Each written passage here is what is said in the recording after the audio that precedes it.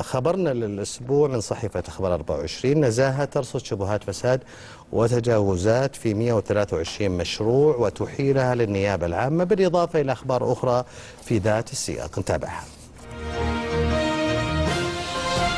مصادر. نزاهات ترصد شبهات فساد وتجاوزات في 123 مشروعا وتحيلها للنيابة العامة.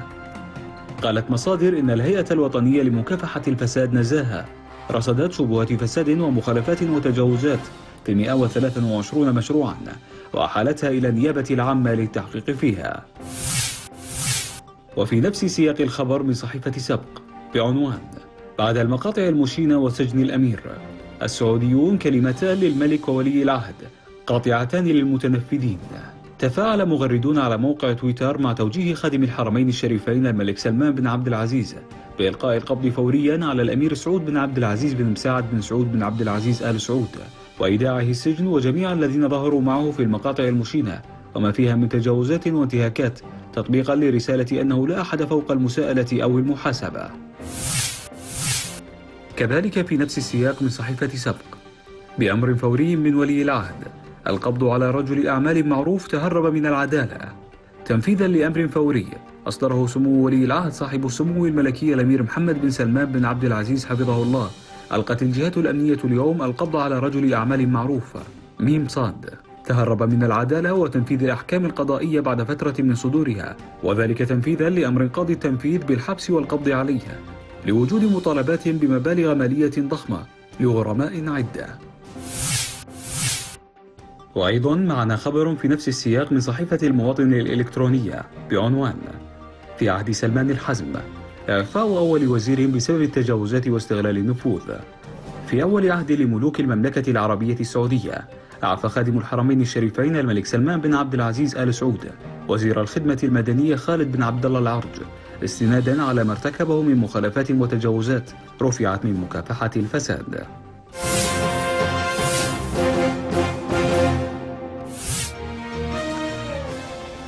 أخبار متعددة كلها تتعلق بملف مكافحة الفساد تعليقك. شوف يا أبو سلمان من الواضح اللي يراقب السعودية عن بعد أو يرصدها بتجرد وب وبعدالة السعودية الآن أصبحت ورشة عمل، ورشة عمل من أجل التنمية، بمعنى زمان تذكر كنا نلقى كل أسبوعين ثلاثة خبر نعلق عليه، الآن أنت في الأسبوع عندك 20 خبر، ما تدري وش تعلق وش تخلي، كلها تصب في اتجاه واحد الحزم.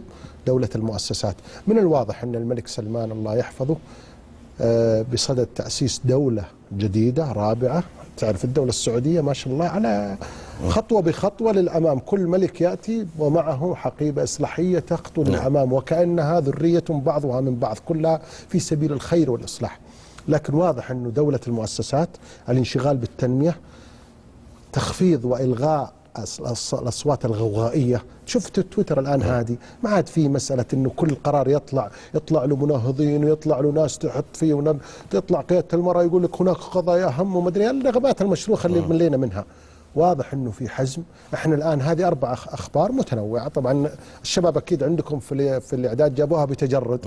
أخبار عن أمير عن وزير عن رجل أعمال عن مؤسسة. أربع أشياء. يعني اصناف المجتمع هم كذا. يا رجل أعمال يا أمير يا وزير.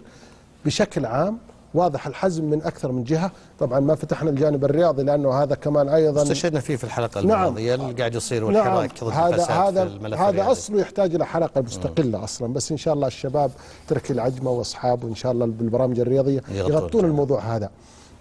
فأقول لك من الواضح إنه الدولة صارت ورشة السعودية صارت ورشة عمل. فيها الشغال. وأيضا ما نبغى أصوات التشويش. ترى في ناس تحب تشوش في ناس تذكروا إحنا صغار في ناس تلعب وفي ناس تكسر قزاز بالملعب اللي يكسرون قزاز في الملعب دول لازم يتوقفهم بطريقة وباخرى سواء بالأدب أو اللي ما ربوها له الحكومة تربيه. أنت عندك ملفات تنمية. تبغى تشتغل عليها ما في شك إنه إحنا تأخرنا في التنمية أهملنا ملفات قضية قضايا أهملنا الترفيه بناء الإنسان بناء أشياء كثيرة. الآن الدولة ما شاء الله تسابق الليل بالنهار. يعني الأسبوع ذا والله 45 خبر في السعودية. توقيع اتفاقيات زيارات دولية ناس تروح الملك سلمان الله يحفظه كان في روسيا. الآن التقارب مع العراق. يعني ملفات حتى أنا مشفق والله على المراقبين السياسيين كيف يلحقون يتابعون الأحداث هذه. لكن إحنا تعرف شغلنا نتابع الظاهرة العامة. الظاهرة العامة. أربع أخبار. أنا أتحدى إذا أنت قبل عشر سنين تسمع مثل هالأخبار سواء كان على مستوى أنك تحاسب أمير. وبهذه القوة الظاهرة. وبهذه القوة وتعرف قبل فترة نفذ حد القصاص على أمير أيضا. كل هذه الأخبار ترى ما كانوا الناس متعودين عليها في السعودية. لا حتى من يريد أن يشكك يعني ممكن حتى طلع آه كلامه يمكن في مواقع التواصل أنه الأمير اللي تم القبض عليه وأمر ملك القبض عليه أنه الآن آه خارج السجن وتم نفي ذلك أنه ما زال موجود في السجن يحاسب نعم. على على على فعلته. يعني حتى هناك من يريد أن يشكك في في هذا التوجه الجاد لدينا أو أن المملكة وحتى حتى كلام الملك يعني كان واضح وصريح. وفيه بعد أتوقع كان في كلام جميل جدا وواضح ورسالة واضحة من الأمير محمد بن سلمان في هالملف. نعم في الملف ويا ليت الشباب طيب عندنا عندنا موجودة. خلينا نسمعها وبعدها بمنك تعليق طيب، خلينا نشوف أبشر، أبشر. مقطع من لقاء سابق مع الأمير محمد بن سلمان آه ولي العهد عندما تكلم عن موضوع الفساد. خلينا نستذكره مع بعض.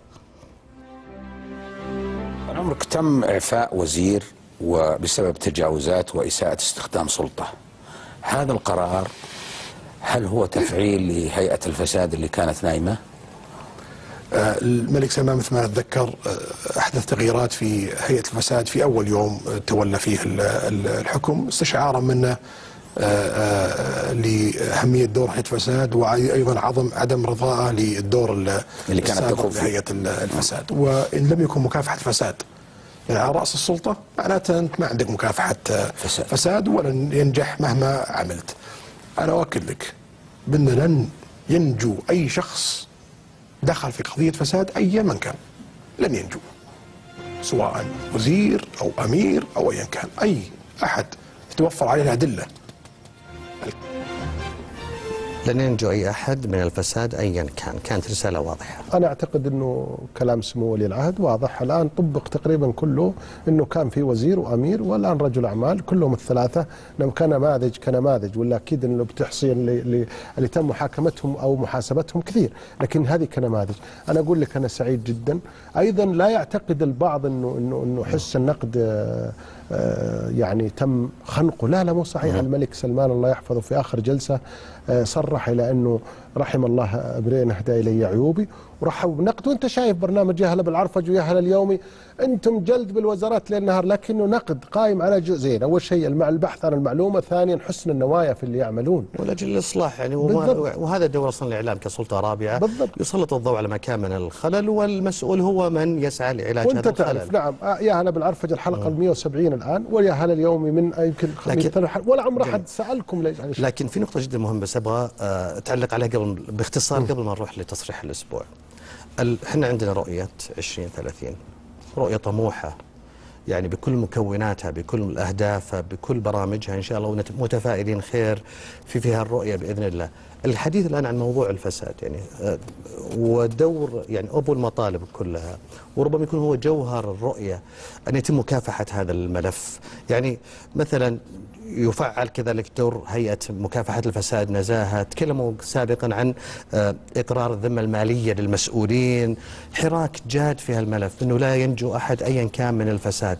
يعني أنا أقول لك مثلا بعض القرارات مثلا اللي قاعدة تصير آه، البعض تحدث أنه قال الفساد هو الأولى أن يتم بتره ومواجهته. كثيرون أو كث- كثر من المسؤولين. استفاد من منصبه استفاد من وجاهته استفاد من مكانه من اسمه أيا يكن. وأخذ أموال واستغل منصبه غير وجه حق. هؤلاء يجب أن يحاكموا ويجب أن تسترد أموال الدولة منهم ابتداء. كيف تعلم؟ شوف هو هو صحيح آه، في في حملة شعواء عن الفساد. الفساد طبعا واضح إن الرؤية أول مرة إحنا نحط رؤية لمدة لمدة 15 سنة دائما أربع سنين وفقط. الشيء الثاني إنه لا يكفي أيضا محاربة الفساد لازم المطالبه بالإنجاز. ترى اللي نايم ما هو فاسد لكن ما ينجز. أيضا هذا يعطل التنمية. عندك أنت ملف تنمية شائك ما في شك الأشياء اللي تفضلت فيها وفي غيرها. محاسبة المسؤولين محاسبة أيضا محاسبة المسؤول. أنت وعدت خلال سنة أنك توفر 20000 وظيفة. وين 20000 لا تكذب علينا وتقول لنا. حتى ولا محاسبة تعطيني المس- أرقام الاستهلاك. الإعلامي ولا عشان المسؤول يعرف إنك تشتغل. قاعد تشتغل بالضبط. فأنا أقول لك آه، شوف أنا والله شفت برامج الرؤية إنها برنامج متكامل. صحيح. في محاسبة في الرضا الوظيفي في القياسات ال- ال- النجاح وقياسات الإنجاز. ملف متكامل.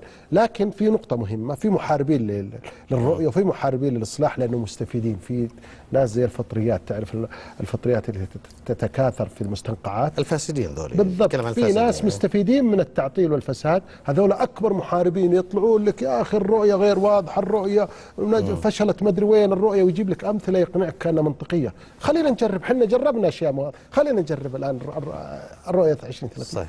ومتفائلين بكل خير إن شاء إن الله شاء الله. ملف الفساد والحزم في التعامل مع مع ملف الفساد كما ذكر سمو ولي العهد مع ايا كان آه، يعني آه، سواء أمير أو مسؤول هناك حزم من الدولة في مكافحة الفساد.